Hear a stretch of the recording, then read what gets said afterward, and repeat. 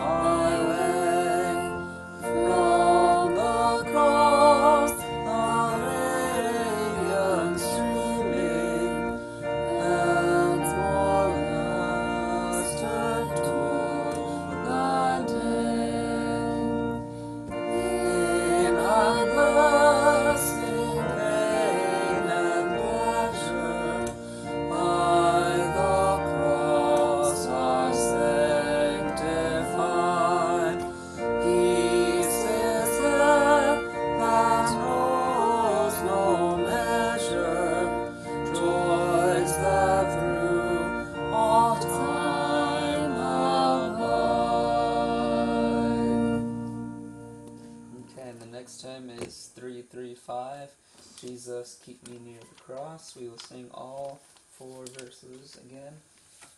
And this is 335.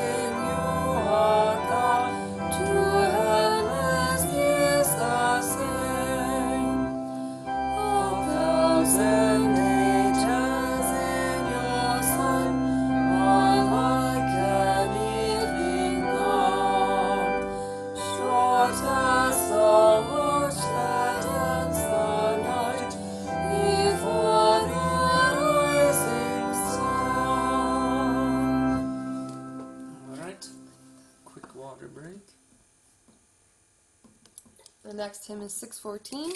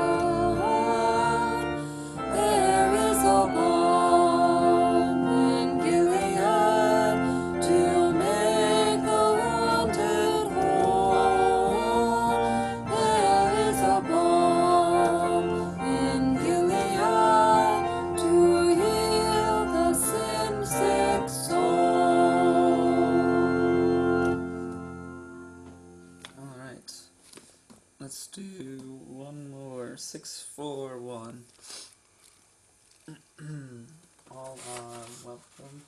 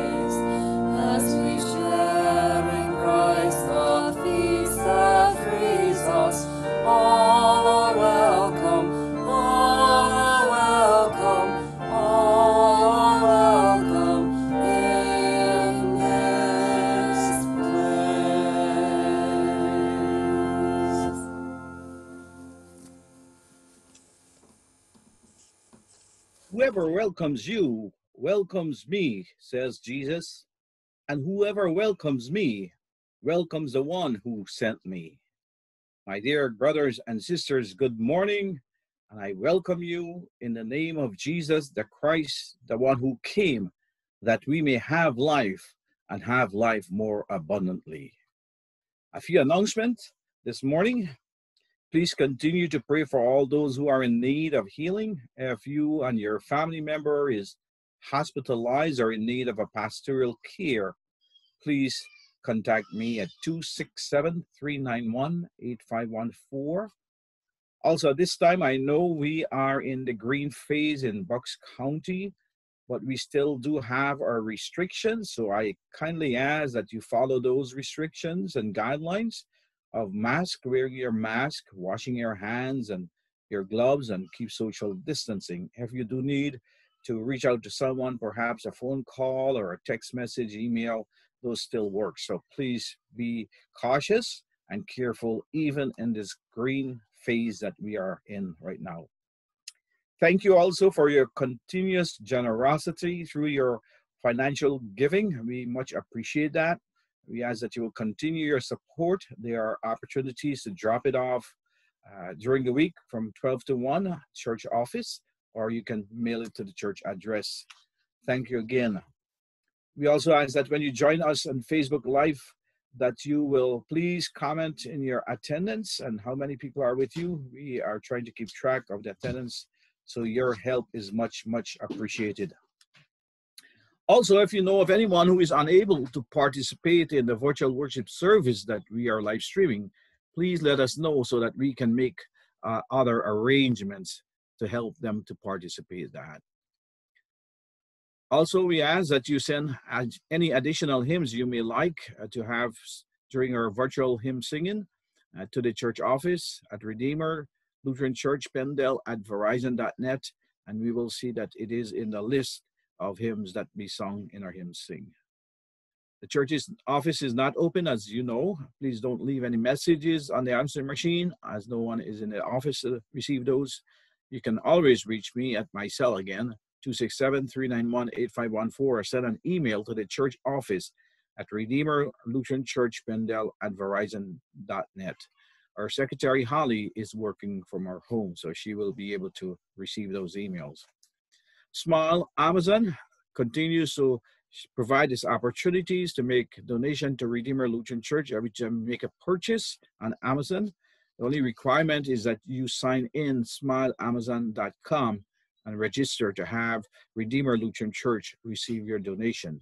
Every time you go, you are encouraged to do that and to complete your order. So that's a simple way of you supporting your charitable organization, and at this, in this case, Redeemer Lutheran Church.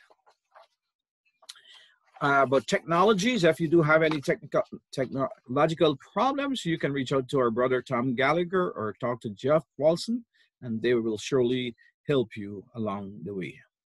There's the announcements I have this morning. Again, welcome in the name of Christ, our Lord and Savior, who promised to be with us. Thank you for being here, and I pray that you will indeed feel and witness the presence of the Holy Spirit as we continue to worship and give God thanks and praise for all of the many blessings in our life. And now, my dear brothers and sisters, as we continue to give thanks to God, we are reminded of our mission statement, which is as a community of faith, we worship the triune God. We are called to love and serve all God's people and creation through word and deed. Let us continue as we prepare our hearts to worship.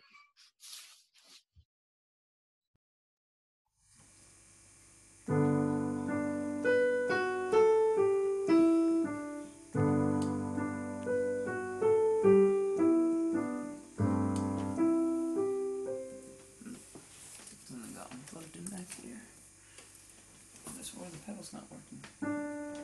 That's weird. Alright, sorry.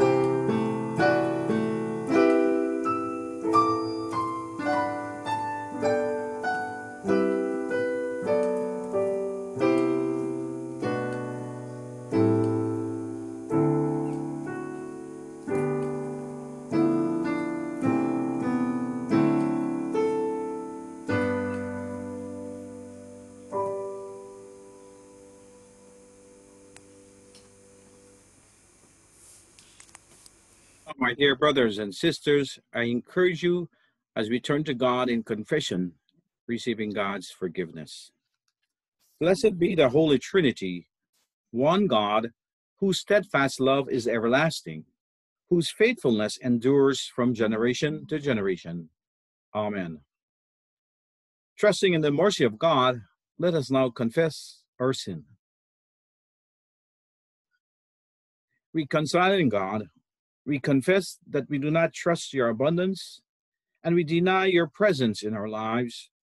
We place our hope in ourselves and rely on our own efforts. We fail to believe that you provide enough for all. We abuse your good creation for our own benefit. We fear differences and do not welcome others as you have welcomed us. We sin in thought, word, and deed. By grace, forgive us. Through your love, renew us. And in your spirit, lead us so that we may live and serve you in newness of life. Amen.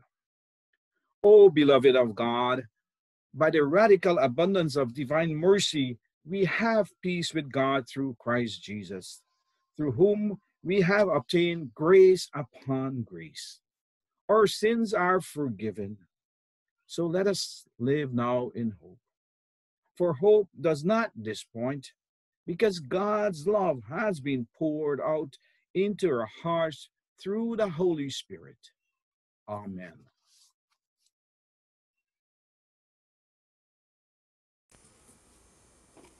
We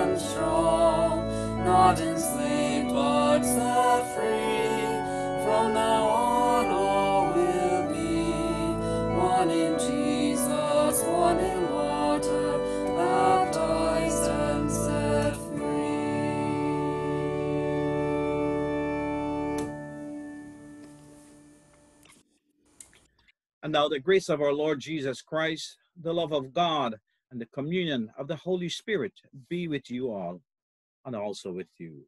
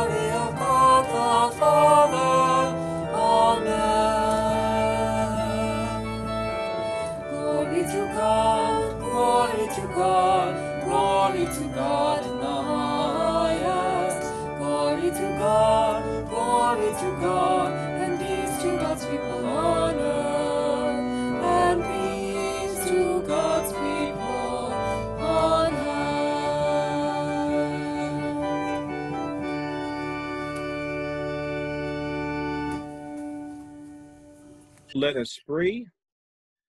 O God, you direct our lives by your grace, and your words of justice and mercy reshape the world. Mold us into a people who welcome your word and serve one another through Jesus Christ, our Savior and Lord. Amen.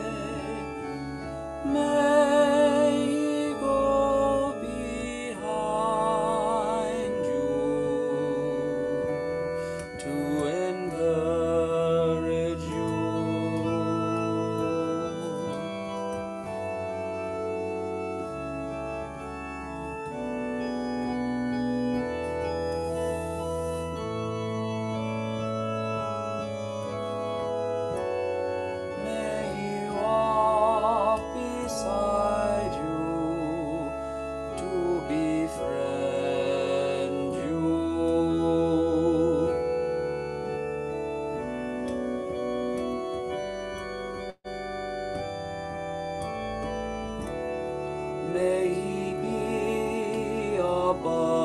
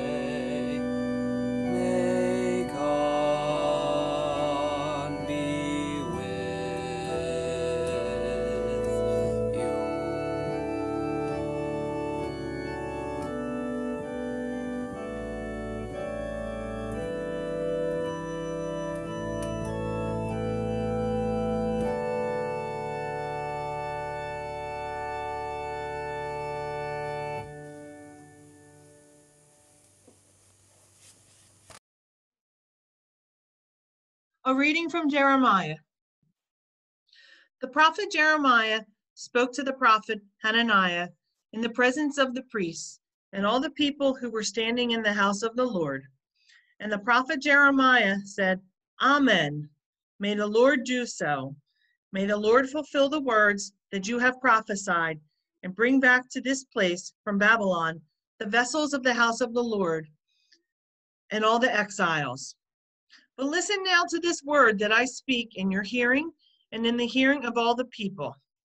The prophets who preceded you and me from ancient times prophesied war, famine, and pestilence against many countries and great kingdoms. As for the prophet who prophesies peace, when the word of that prophet comes true, then it will be known that the Lord has truly sent the prophet. The word of the Lord. Thanks be to God.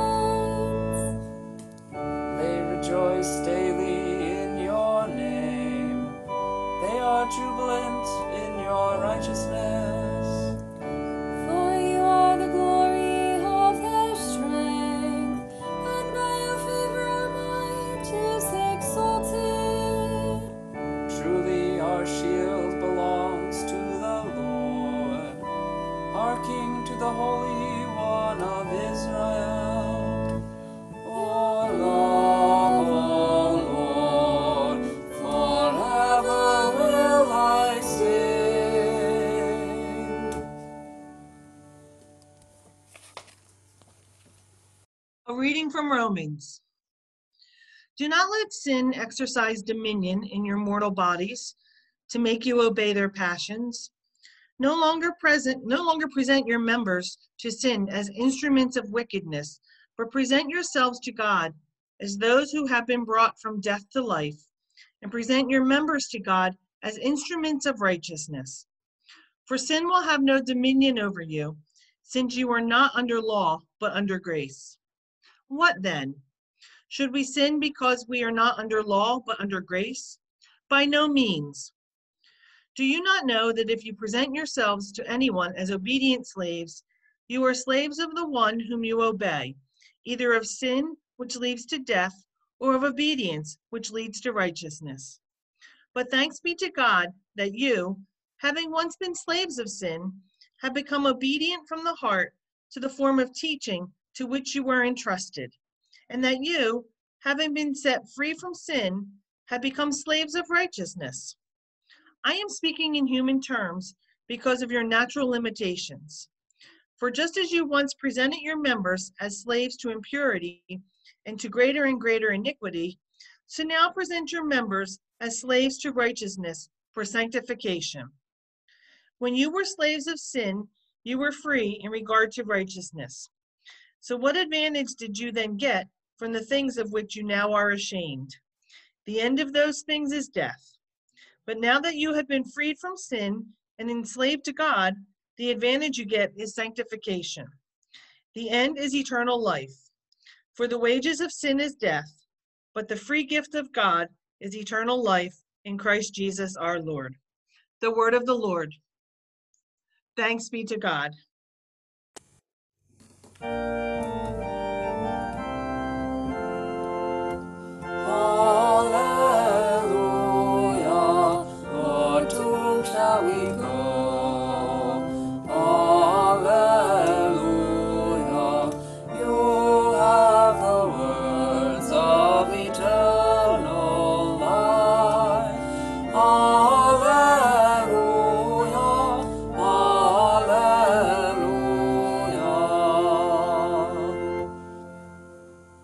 Holy Gospel according to St. Matthew, the 10th chapter. Glory to you, O Lord. Jesus said to the twelve, Whoever welcomes you welcomes me, and whoever welcomes me welcomes the one who sent me. Whoever welcomes a prophet in the name of a prophet will receive a prophet's reward. And whoever welcomes a righteous person in the name of a righteous person will receive the reward of the righteous. And whoever gives even a cup of cold water to one of these little ones in the name of a disciple, truly I tell you, none of these will lose their reward. The Gospel of the Lord. Praise to you, O Christ. Grace and peace to you from God the Father and from our Lord and Savior Jesus Christ. Amen. So after worship service one day, the minister was shaking everyone's hand while they were leaving the worship space. And so an elderly man shook his hand and then turned to the pastor and said, Reverend, that was the worst sermon I ever listened to. It was terrible. Well, as the minister stood there dumbfounded, the old man's wife stepped in, trying to help.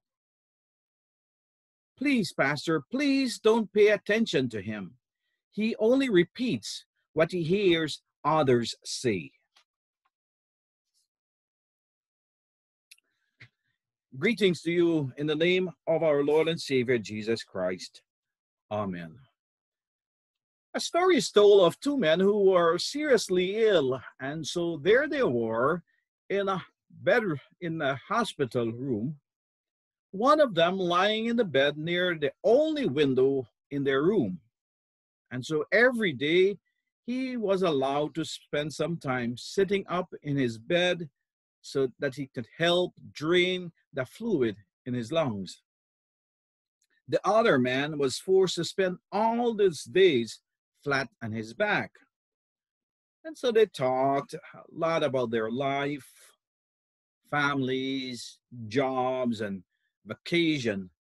And every time the first man was who was sitting by the window, he described in details all that he saw outside the window. His roommate always looked for these moments when his world was broadened and brightened up by the world outside.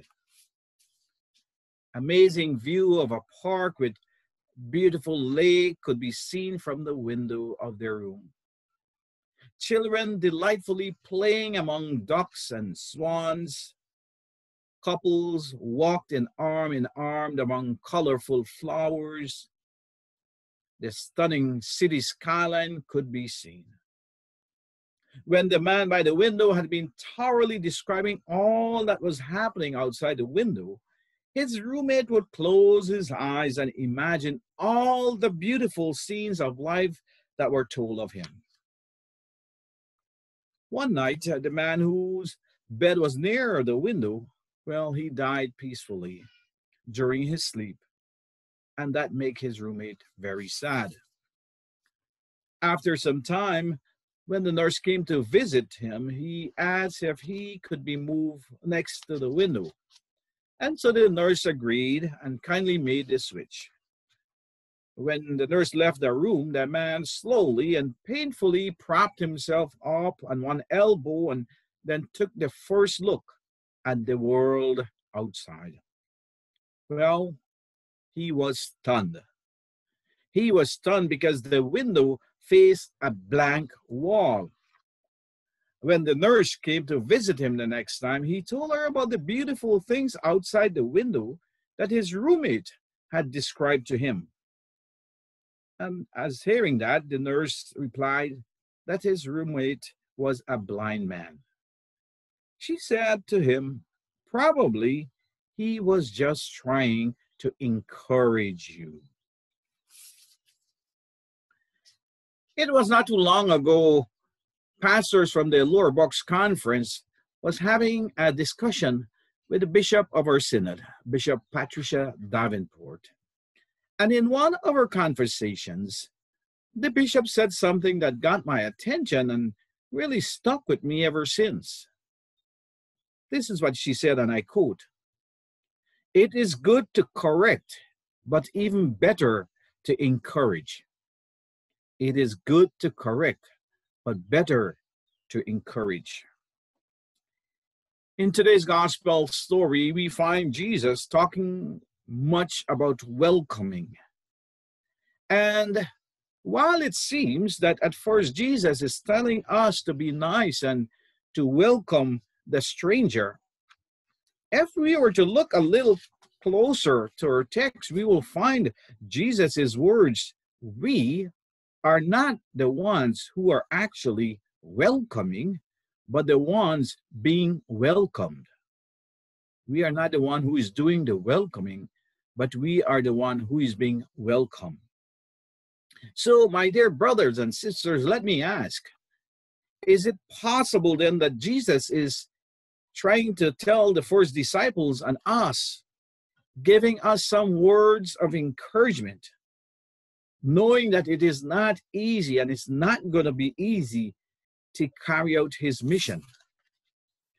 Is it possible that Jesus is encouraging us and the disciples to not give up because not everyone is going to welcome us, but some will.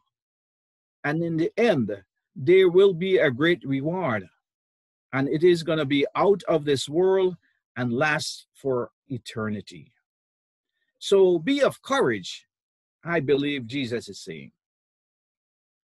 Looking at our gospel, which is the concluding part of the missionary discourse in the Gospel of Matthew, we see that after giving various instruction to the disciples for their mission, warning them of the dangers as he's sending them out like sheep among wolves, and that they will face persecution as father will be against children, children against father, mothers against daughter in laws, and all those things. They will be facing suffering we can see Jesus here encouraging the disciples with words that they will be rewarded and that they will be compensated in the end. Whoever welcomes you, welcome me, Jesus says, and whoever welcomes me, welcomes the one who sent me. Whoever welcomes a prophet in the name of a prophet will receive a prophet's reward, and whoever welcomes a righteous person in the name of a righteous person will receive the reward of righteous. And whoever gives even a cup of cold water to one of these little ones in the name of a disciple, truly I tell you, none of these will lose their reward. Rolf Jacobson professor of Old Testament and Alvin Rogness Chair in Scripture, Theology, and Ministry, commented These words of Jesus are to be heard as words of promise under the broader commandment to follow Jesus out into the world in mission. Now, Jacobson went on to say, Jesus tell his disciples as it were. I am sending you into a dangerous world as part of my mission to love and to save and bless and be reconciling that very world. It is dangerous out there, but you will find welcome. And those who welcome and receive you also welcome and receive me, and they will be rewarded. You see, my dear brothers and sisters, anything we do in the name of Christ will be rewarded in the end. We do not be need to be afraid to do the work of Christ, even when it may seem very discouraging at times. In Paul's letter to the Romans, our second reading, Paul reminds us that while sin is an enslaving power which motivate ones to live self-serving, disobedient life, having been set free from sin's slavery, we are encouraged, my dear brothers and sisters, to live obediently under God's grace, whose end, Paul says, is the free gift of eternal life. Do not let sin exercise dominion over your mortal bodies to make you obey their passion, he writes. No longer present your members to sin and as instrument of wickedness, but present yourselves to God, who have been brought from death to life, and present your members as instruments of righteousness. For sin will have no dominion over you, since you are not under the law, but under grace. He went on to say, that is Paul, but now you have been freed from sin and enslaved to God. The advantage you get is sanctification. The end is eternal life. For the wages of sin is death, but the free gift of God is eternal life through Jesus Christ our Lord. Earlier this morning, we heard of this wonderful song, There is a Balm in Gilead. To paraphrase these words, it says, Sometimes we may feel discouraged and that our work may be in vain. But then the Holy Spirit revives our soul again. If we cannot preach like Peter or if you cannot pray like Paul, you can tell the love of Jesus and say he died for all. Don't ever be discouraged, my dear brothers and sisters, for Jesus is our friend. So today I say to you, brothers and sisters in Christ, God is with us and Christ has promised us a great reward for our faithfulness. So let us continue to support each other in our various ministries. Let us encourage each other in service and welcome all in the name of Christ, as God has welcomed us in Christ Himself. Let us pray for each other instead of condemning or criticizing. Remember, it is good to correct, but better to encourage.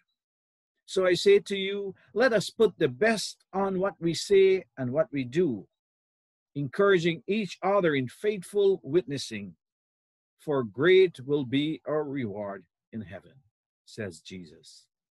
Amen.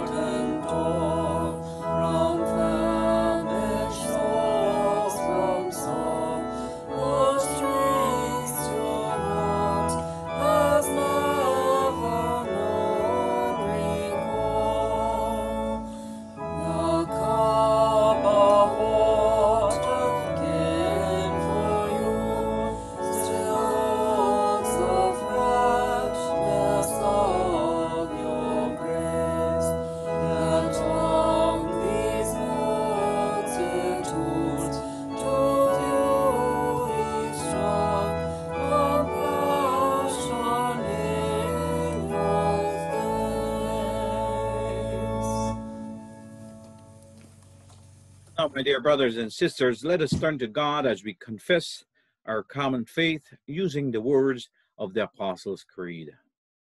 I believe in God, the Father Almighty, creator of heaven and earth. I believe in Jesus Christ, God's only Son, our Lord, who was conceived by the Holy Spirit, born of the Virgin Mary, suffered under Pontius Pilate, was crucified, died, and was buried. He descended to the dead. On the third day, he rose again. He ascended into heaven. He is seated at the right hand of the Father, and he will come to judge the living and the dead. I believe in the Holy Catholic Church, the communion of saints, the forgiveness of sins, and the resurrection of the body, and the life everlasting. Amen. Called into unity with one another and the whole creation, let us pray for our shared world. God of companionship, encourage our relationships with our siblings in Christ. Bless our conversations, shape our shared future, and give us hearts eager to join in a festal shout of praise. Hear us, O God. Your mercy is great. God of abundance, you make your creation thrive and grow to provide all that we need. Inspire us to care for our environment and be attuned to where the earth is crying out. Hear us, O God. Your mercy is great. God of mercy, your grace is poured out for all. Inspire authorities, judges, and politicians to act with compassion. Teach us to overcome fear with hope, meet hate with love, and welcome one another as we would welcome you. Hear us, O God. Your mercy is great. God of care, accompany all who are in deepest need. Comfort those who are sick, lonely, or abandoned, especially Dee Grover, Christina Jackson, Doris Parfit, Ruth Schwartz, Lois Hirschberger, Winnie Ferguson, Patty Paul, Aaron Winter, Beth Connolly, Linda Bartleson, Lynn Lepo, Lois Gradell, Jean Lippincott, Danny Vile, Marty Danielson, David Erdman, Edith Williams, Elizabeth Reines, Linda Winter, Donald Robinson, Chris Ryan, Tim Kusi, Helen and Jim Susko, all frontline and essential workers, Marie Delphin, and all others that we name aloud or silently in our hearts. Strengthen those who are in prison or awaiting trial. Renew the spirits of all who call upon you. Hear us, O God. Your mercy is great. As our caring initiative continues, today we lift up in prayer Linda, Miles, and Tyler McCutcheon, Lori, Sam, and Amy Miola. Lord, you know their needs and wants. Help to guide and protect them in every way. Hear us, O God. Your mercy is great. God of community, we give thanks for this congregation. Give us passion to embrace your mission and the vision to recognize where you are leading us. Teach us how to live more faithfully with each other. Hear us, O God. Your mercy is great. O God of love, you gather in your embrace all who have died. Keep us steadfast in our faith and renew our trust in your promise. Hear us, O God. Your mercy is great. Receive these prayers, O God, and those too deep for words, through Jesus Christ our Lord. Amen. And now the peace of the Lord be with you all always, and also with you. Lord's peace.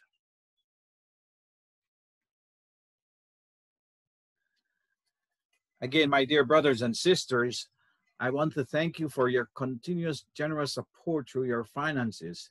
And I pray that you will be a blessing as God has blessed you. Thank you for your gifts.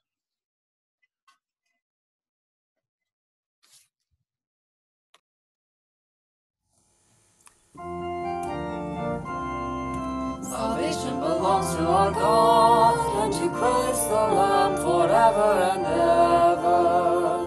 Great and wonderful are God of the universe.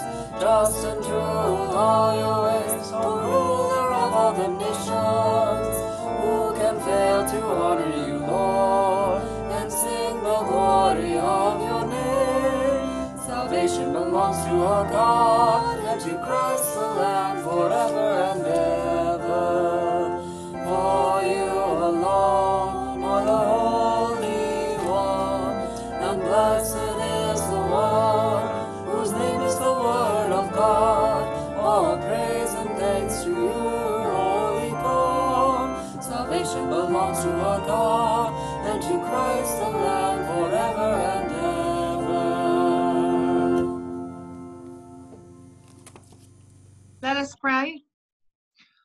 God of justice and love, we give thanks to you that you illumine our way through life with the words of your Son. Give us the light we need, awaken us to the needs of others, and at the end, bring all the world to your feast. Through Jesus Christ, our Savior and Lord, to whom, with you and the Holy Spirit, be honor and glory forever. Amen.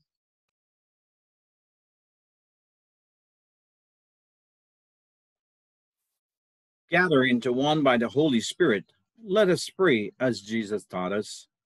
Our Father, who art in heaven, hallowed be thy name. Thy kingdom come, thy will be done, on earth as it is in heaven. Give us this day our daily bread, and forgive us our trespasses, as we forgive those who trespass against us. And lead us not into temptation, but deliver us from evil. For thine is the kingdom, and the power, and the glory, forever and ever. Amen. Brothers and sisters in Christ, let us be reminded that neither death nor life, nor angels nor rulers, nor things present nor things to come, nor powers, nor height, nor depth, nor anything else in all creation will be able to separate us from the love of God in Christ Jesus. God the Creator, Jesus the Christ, and the Holy Spirit the Comforter bless you and keep you in eternal love. Amen.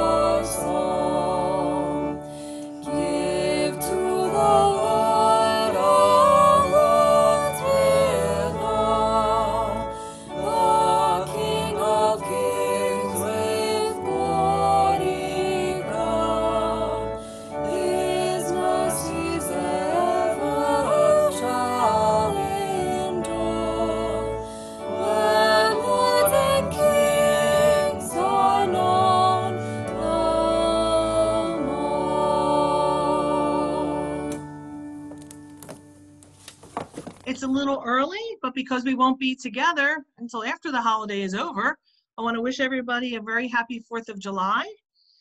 Um, enjoy these beautiful days. Be sure to wear your sunscreen if you're outside. Remember to practice social distancing, wear your mask, wash your hands. Be safe and be smart.